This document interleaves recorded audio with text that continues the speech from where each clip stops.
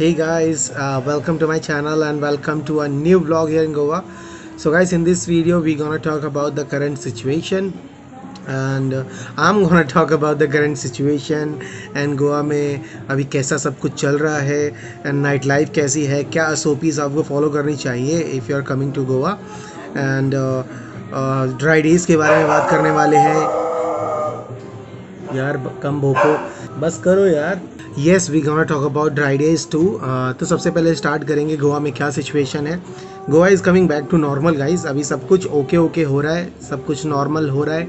अभी पब्लिक भी नॉर्मल सी है जो अभी कोरोना वायरस का इतना ज़्यादा डर सता रहा था ओमनिक्रॉन का, वो सब मुझे दिख नहीं रहा है। सब कुछ नॉर्मल सा है। लोग भी फाइन है।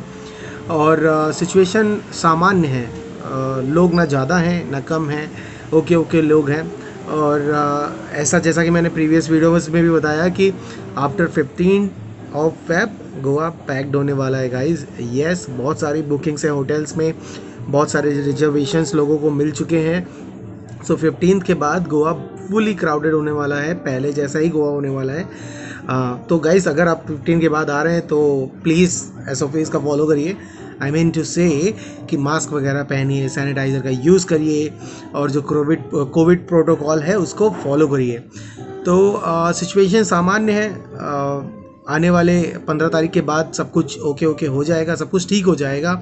जैसे अभी हालात है नाइट लाइफ को लेके वो सब नॉर्मल हो जाएँगे, क्योंकि नाइट लाइफ जो है, जैसा कि मैं अपने बहुत सारे वीडियोस में बता चुका हूँ कि नाइट लाइफ अभी केवल 11 बजे तक ही है, क्योंकि कोड ऑफ़ कंडक्ट चालू है इलेक्शन की वजह से, जिसकी वजह से रात के 10 साढ़े दस बजे के बाद से no music no bar no alcohol no बोले तो शॉप वगैरह ओपन नहीं होगी अल्कोहल की कोई भी। तो ये कोड ऑफ़ कंडक्ट की वजह से होता है, गोवा में एक महीना के लिए जब तक इलेक्शन नहीं हो जाते हैं। तो नाइट लाइफ अभी नहीं है, अभी भी वही सेम सिचुएशन है, जैसे कि पहले मैं आपको बता रहा था, वो पंद्रह तारीख के बाद सब कुछ ओके हो जाएगा। पंद्रह तारीख से ही सब कुछ सामान्य हो जाएगा, ठीक है? तो अभी हम बात करेंगे ड्राई डेज़ ड्राई डेज़ को लेके ड्राई डेज़ की क्या सिचुएशन है? तो ड्राई डेज़ जहाँ तक चौदह तारीख को इलेक्शन है ड्राइडे तेरह तारीख को भी हो सकता है और चौदह तारीख को भी हो सकता है। चौदह तारीख को तो रहेगा ही रहेगा, लेकिन मे भी शाम को ओपन कर दे, क्योंकि वैलेंटाइन डे है। मे भी शाम को इलेक्शन के बाद जो कोड ऑफ़ कंडक्ट है वो हटा दें। ड्राई डे वाला जो सीन रहेगा वो ख़त्म हो जाएगा। बट कुछ कह नहीं सकते हैं। हो सकता है पूरा चौदह तारीख तक ही चलेगा। तो पंद्रह तारीख से लगभग हालात पूरे सामान्य हो जाएँगे। तेरह को ड्राई डे हो सकता है। अभी भी उसको लेके कोई न्यूज़ नहीं आई है। जैसे ही न्यूज़ आएगी, मैं कन्फर्म आप लोगों को कर दूँगा। तो वैलेंटाइन डे तो वैसे ही ख़राब होने वाला है यहाँ पे किसी का भी। बट बाकी सारी एक्टिविटीज़ बहुत लोगों के क्वेश्चन रहते हैं कि क्या वाटर स्पोर्ट्स ओपन रहेंगे, चालू रहेंगे, या रेस्टोरेंट्स वगैरह ओपन रहेंगे, या नाइट लाइफ का क्या सीन है।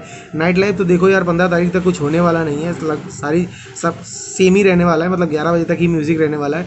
बट वाटर स्पोर्ट्स रेस्टोरेंट्स और भी बहुत सारी जो एक्टिविटीज़ होती हैं, वो सब कुछ चालू रहेगा। कुछ भी उस पर ये इलेक्शन इफ़ेक्ट नहीं करेगा।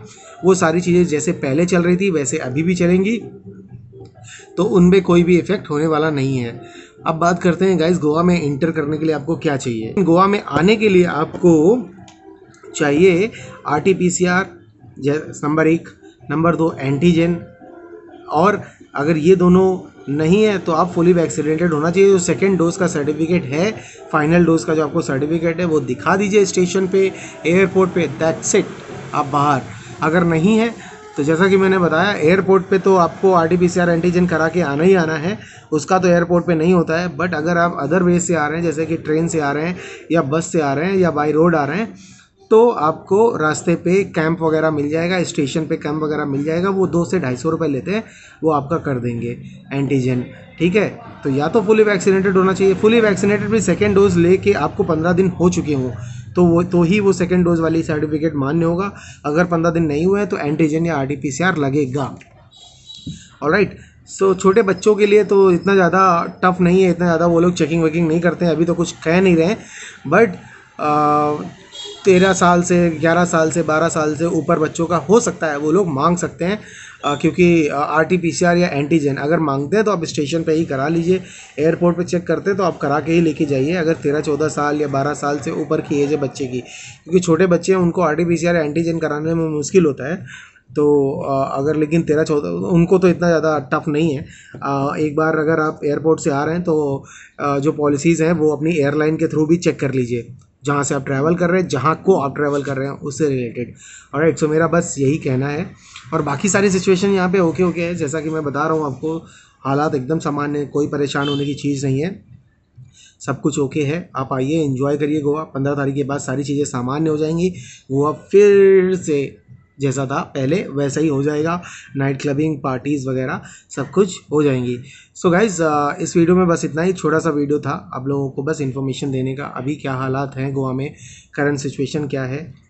क्राउड वगैरह धीरे धीरे बढ़ रहा है। आपने प्रीवियस वीडियोज़ में देखा मेरे। मैं गया था मांद्रे में एशवेम और आरम्बोल वगैरह, वहाँ पे क्राउड था। ठीक ठाक क्राउड था। तो यस क्राउड वगैरह भी ठीक ठाक हो रहा है। धीरे धीरे सब कुछ सामान्य हो जाएगा। और राइट सो परेशान मत होइए, आराम से आइए इन्जॉय करिए गोवा आके और हैप्पी हॉलीडे बिताइए। सो यस या फिर मिलते हैं आपसे नेक्स्ट वीडियो में, तब तक के लिए take good care of self be happy and enjoy your life and make sure you subscribe this channel right bye